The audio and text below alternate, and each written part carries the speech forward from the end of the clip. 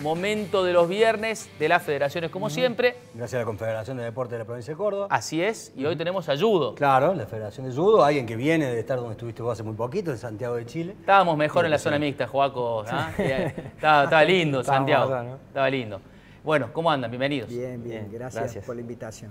Bueno, eh, ¿Qué pasó, qué quedó de los Panamericanos como, como experiencia para, para contar un poco a, a la gente de lo que ha sido la primera participación?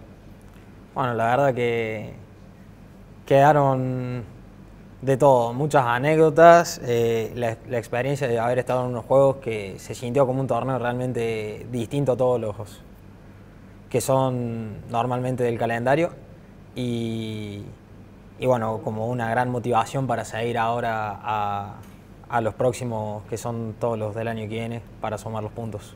Bueno, el camino a París es sumar puntos en cuántos torneos?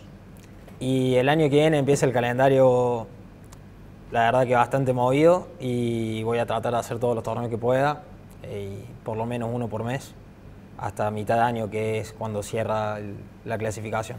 Le voy a contar una infidencia que por ahí la gente no la sabe, que la hablamos en Santiago. José Morales, presidente de la federación, sos el tío de Tomás. El tío, sí, sí. Tomás Morales, representante argentino, que nació en España, que ustedes ocuparon de que sea argentino básicamente, porque le hicieron la peperina, le tiraron eso. Lo, volvieron loco al pibe para que eh, siente la celeste y blanca como nosotros.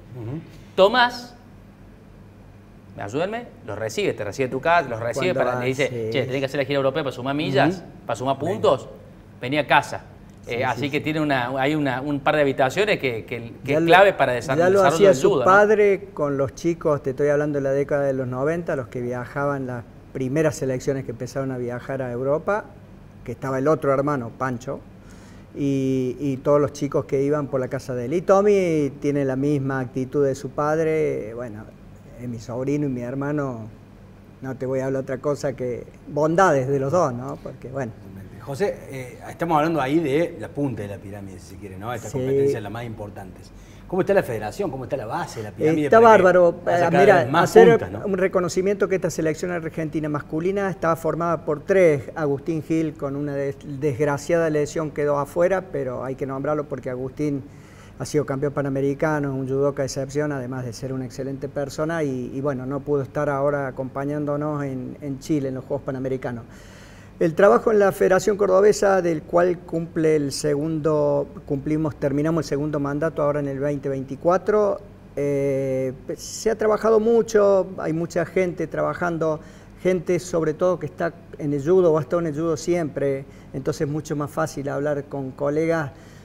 Yo no me siento dirigente, me siento judoka porque toda la vida lo he sido competidor, después técnico, después trabajando con los equipos nacionales con mi profesión y bueno, entonces ahora lo de dirigente se me hace mucho más fácil porque la otra vez un papá me decía, che, gracias por lo que ayudan los chicos, sobre todo económicamente, no los ayudamos o es muy poca la ayuda, pero los acompañamos y en el día a día estamos siempre porque alguno de los dirigentes está siempre en un tatami, en, lo de Claudio Maldonado, en lo de Nico Cruz, en lo de Jorgito La Encina, en algún lado del interior, entonces nos es mucho más fácil conocer y entender la problemática de los niños que recién lo hablamos, no es muy diferente a 20, 30 años atrás, por lo menos, y 40 de lo que lleva uno en el judo, en el deporte.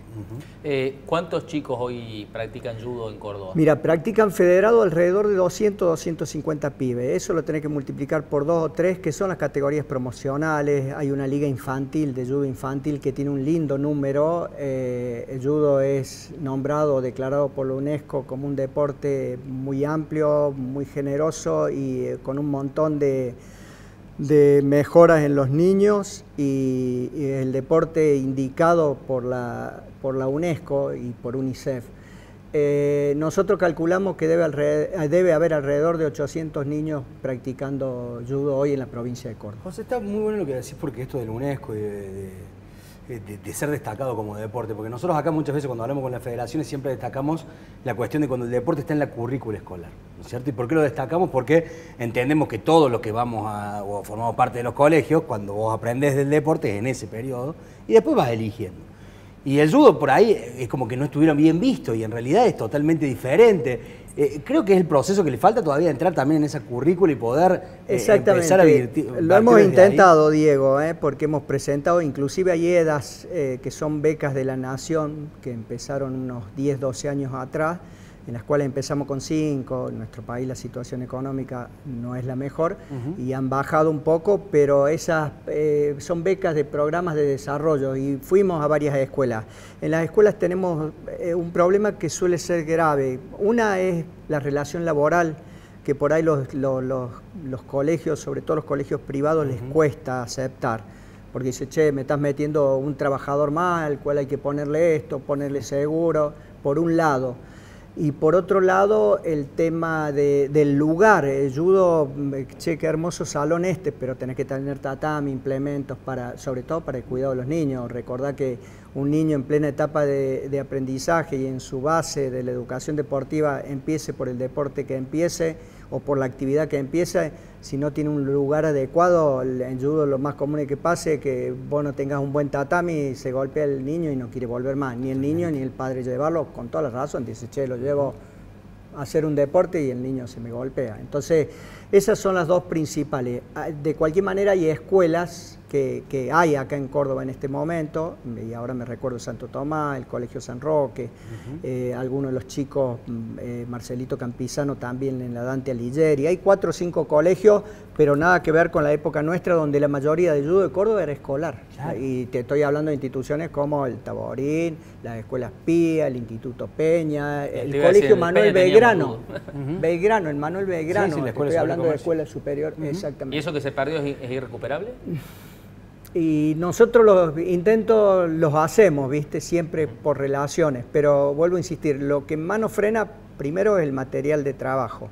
Hay eh, eh, elementos por ahí para reemplazar el verdadero tatami, que es esto olímpico, que valen 150 dólares cada pan. Eh, o sea, armar un tatami de esto, de esto en Santiago. hoy vale, te digo porque lo averigué la otra vez, 15 mil. A nosotros la provincia de Córdoba nos regaló uno en el año 2016 o sea, 15 mil dólares. 15 mil dólares. Sí. Y en 2006 le regaló uno a la provincia. La provincia de Córdoba, sí, sí, sí, por intermedio del diputado y de amigo y de Yudoka, que es Paulito Casinerio. Claro. Eh, que en algún momento se le acercó a Paula Pared. Exactamente, la trajo de la Paula, que estuvo representando Córdoba en, Río 2016, y ese lo tenemos repartido en tres o cuatro instituciones. Lo usamos repartido? porque son 160 panes. Entonces no lo podés poner en un solo lugar porque tiene que ser un lugar grande que no hay. Entonces lo tiene repartido. ¿Qué hacemos cuando hacemos un evento de la federación, el campeonato cordobés? Se lo llama y dice, che, necesitamos el tatami. Tiene más uso, exactamente, tiene más uso, pero yo creo que está hecho para eso, para usarlo, ¿me entendés? Juaco, te vas al Nacional en Santiago del Estero, son un montón, 1.700 y qué, eh, Calculan eso, entre 1.500 y 1.700 judo. ¿Y cómo estás? Muchísimo. Bien, ya ajustando el peso, que es lo más difícil ahora la semana previa, eh, recuperándome también de la lesión del hombro, que vengo bastante bien, y, bueno, haciendo esos últimos detalles ya para, para viajar, viajamos el jueves que viene y el sábado vamos a estar compitiendo. Estás acostumbrado a representar a Argentina, pero esa remera tiene otro peso. El domingo, el sábado fui a verlo al Maligno, al Parque El Kemp, estaba ahí volando con su bicicleta. Y también había un par, eh, había una de las chicas que había estado en los Juegos, en los Juegos Panamericanos estaba con la mochila. ¿No? Y digo, pasan a otra jerarquía, ¿no? Y, te van a mirar distinto, no te la van a hacer fácil. Sí. ¿Ah? Eh, sí, yo trato de que esa que sea una presión para el otro, eso también, ¿no? Aprovechar un poco eso y, que juegue a mi favor. El, no sé, tener el dorsal atrás que diga que eres de los Juegos Panamericanos y que me juegue a favor, a favor mío. Y, bueno, trato de, aprovecharlo. Juaco, te vamos a seguir. Eh, ojalá te podamos llevar a París. Vemos. José. Chicos, muchas gracias ah. a ustedes gracias, por el ratito. Gracias.